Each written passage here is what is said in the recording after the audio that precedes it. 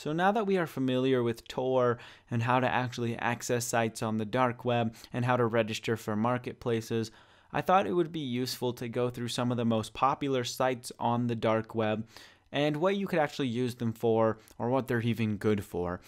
This is as of April 2016. So, of course, these websites, some of them may be down, some of them may change. A lot of things can happen. So, be sure to stay up to date with the best websites and all of that through going through the deep web process. And you can find stuff like that on darkwebacademy.com. But let's hop back over to the Tor browser so we can show you some of the most popular sites on the dark web. So back over on the Tor browser here, of course, we have the first site pulled up that is one of the most popular, and that is Alpha Bay Marketplace. Now, these first few we'll go through are actually just simply marketplaces. Obviously, you have Alpha Bay, which can be found at this link right here. You have Val Valhalla, which can be found at this link up here. You have the Dream Market, which can be found here. The Hansa, which we actually used earlier, can be found here the Outlaw Market, which is a uh, one we haven't really used, but it, it can be found here, and and then the Python Market, which can be found at this link right here. You have to press that other link and then log in and all that, which I haven't done yet. But those are really all the marketplaces we like to use that are the most trusted, most secure, and most popular as well.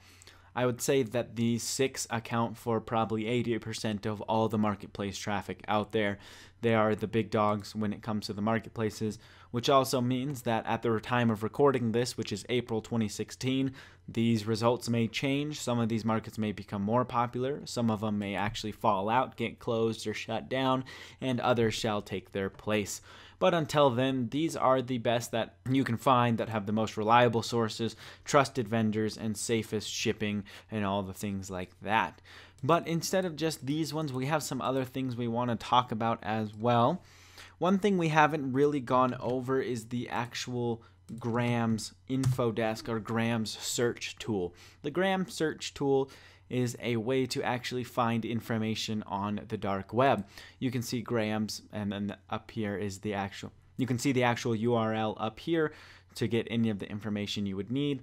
But let's go ahead and go through what this actually means. So we'll open these links another tab because these are things we'll be talking about as well, but we don't need any of the other stuff.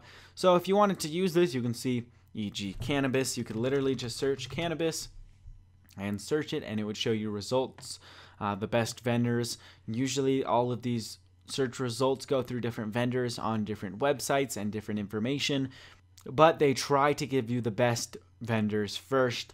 Uh, and then you can see other stuff like that. So these are charts that give you information about the marketplaces. I mean, you can see the top rated ones, uh, the ones that have been the longest around Nucleus, Alpha Bay, Hansa. Uh, we've talked about a few of those, but these are some of the best marketplaces you can find. Any alerts, obviously, about marketplaces you can find on the right hand side there as well. Um, and that'll actually take you over to Reddit. We don't really need to head there for now. And it'll show you the status of the top marketplaces and if they are up or if they're currently having issues like Acropolis.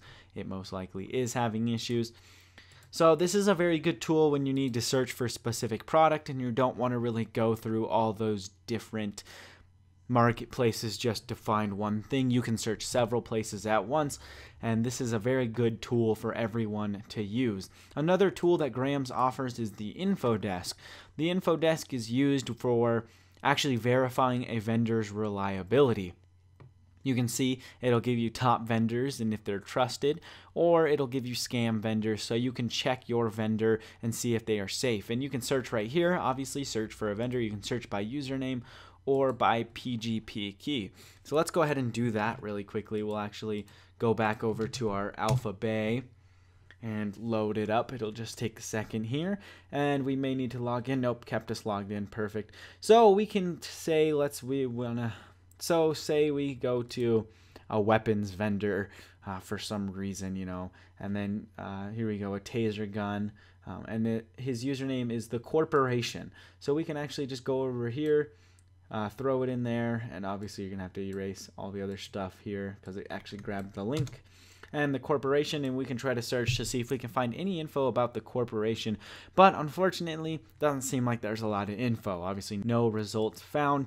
So we'll go back over here. We'll try a different one. The layer cake. Let's try that one. Unfortunately, when it comes to these weapons, these ones don't really have as much information because they aren't selling drugs. And because drugs are the most popular thing, you're going to have a hard time when you want to buy other stuff. So we can see this one actually returned the layer cake here on Alpha Bay. That's obviously the site we're using. So we'll go to their page and see some information about them. You can see this is their PGP key, the listings they have on Alpha Bay.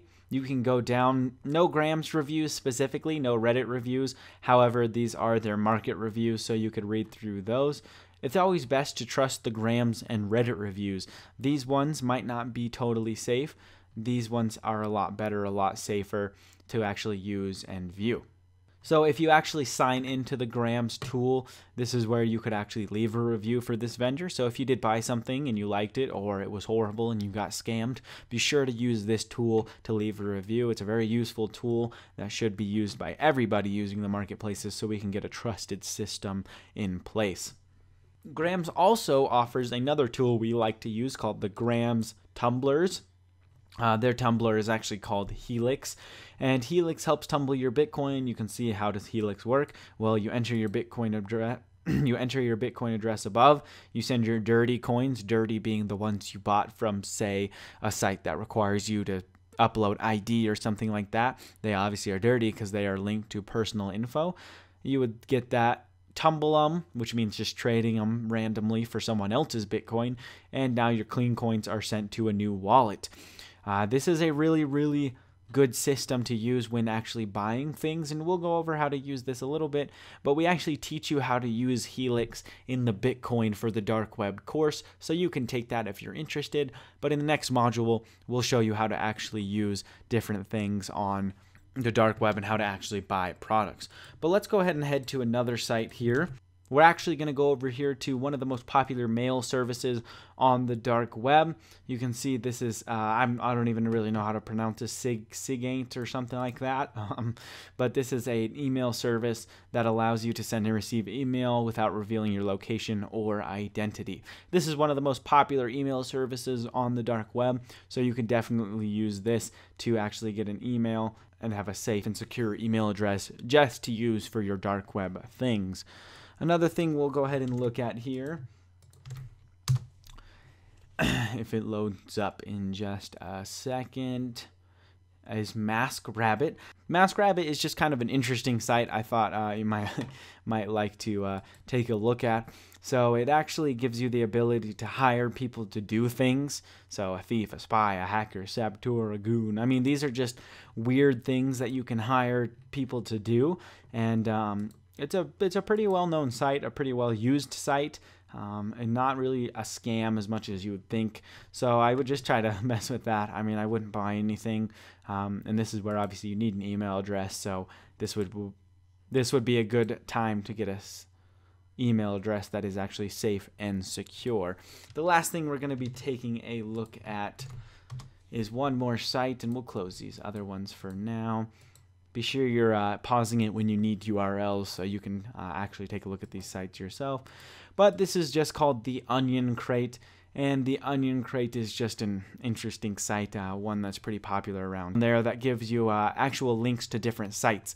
So be sure to take down this one because you'll see links to other Onion sites. All of these are Obviously, you can see here this list goes on and on and on. Uh, lots and lots of different links and information you can look up. A lot of these are scams still. Just because it's on the site doesn't mean it's not a scam. So be careful on what you are actually accessing and purchasing or using from this website. But this is one to help get you going on Tor and help give you an idea of how to actually do all of these things. So be sure to write this down, write this onion address so you can keep track of it so you can have something to actually use to get more onion links because that's kind of one of the hardest things when it comes to the dark web is getting onion links.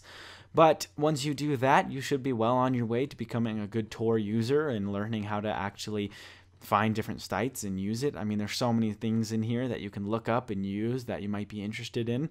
So hopefully you can do that. So that should definitely help you on that path. Of course, if you have any questions, don't be afraid to message me as one of the instructors. I will help out as many students as I can. So be sure to ask me any questions you may have about the dark web or onion links or buying or anything like that.